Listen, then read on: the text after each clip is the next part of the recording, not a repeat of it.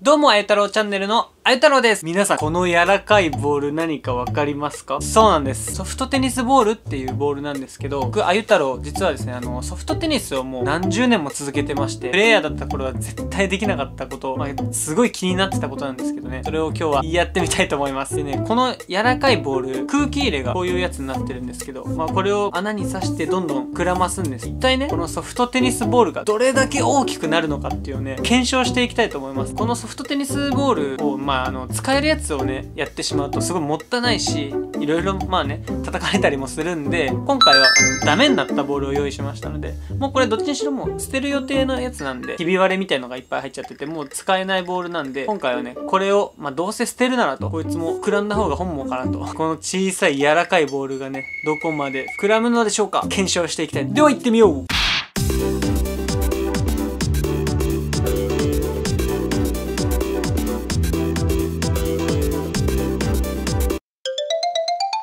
すごいねこれ。ちょっとこれどこまででかくなるのよ。なんか同じ大きさになりそうじゃない？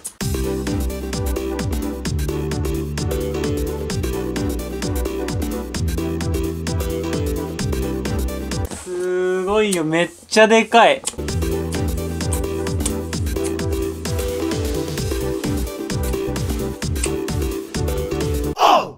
はい、今空気入れ終わったんですけど、もうちょっとね、結構きつい。でね、このボール使ってね、次回テニスの動画も上げたいんで、パンクしちゃうといけないんでね、ちょっとこの辺にしときましょう。見て、ほら、こんなでかくなった。なんかしかもさ、皮が伸びたからさ、すげえ綺麗になったんだよ。真っ白になったんだけど、なんか、最初こんぐらいの色だったのに、やばくない？パーンとかなりそう。ね。